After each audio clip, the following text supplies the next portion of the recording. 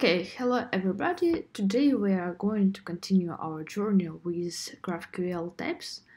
And today we are take a closer look onto GraphQL connections. And uh, so for uh, continue our journey, we will uh, take closer look on our project type. And uh, as you remember, we already create this beautiful and very valuable uh, field for default label. So we can query it now. Now we're safe, but we actually can improve it and actually list all the labels that we have in our project. For this one, we'll create the field labels.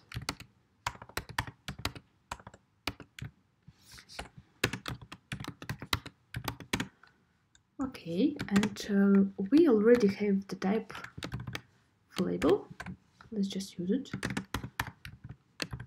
True.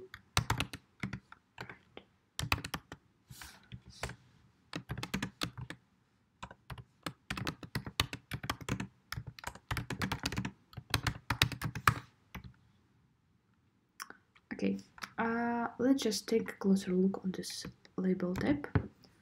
So basic GraphQL type uh, some authorization fields. Okay uh, we don't want to write resolver or just even a such block uh, since we are want to have like get a array a collect collection of these label types uh, but we actually will use magic connection type uh, stuff.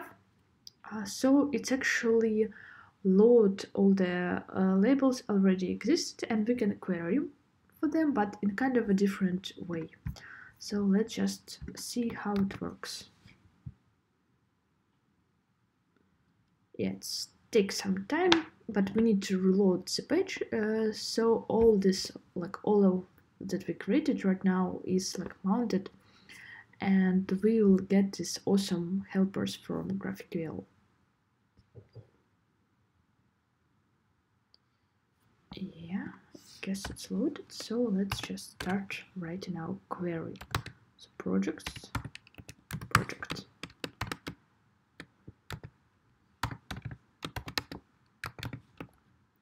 and somehow this helper doesn't load it I don't know why.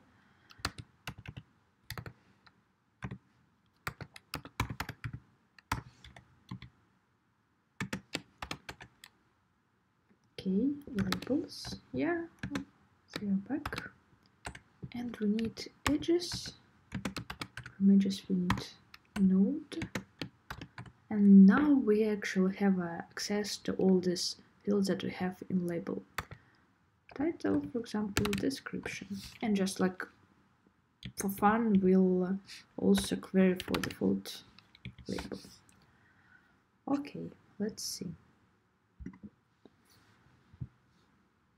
So why do we need these edges and nodes? Uh, we need this because uh, GraphQL it's actually like that data in GraphQL is actually a graph. So that's why we have these edges and nodes. And when we use connection type, so basically we need to like connect them by this construction. So our data is loaded and you can see that we actually have this uh, three different labels in uh, our um, project. So if we actually had more, uh, so we'll should use this cursor pagination here. Uh, but like it's just three of them, so it's quite safe to load them at once. And we know the default label is Foxy, but actually should be Raccoon, just to make justice to Tanuki. Okay, so this is all for me for now. I hope it will be, it was um, helpful for you. See you next time.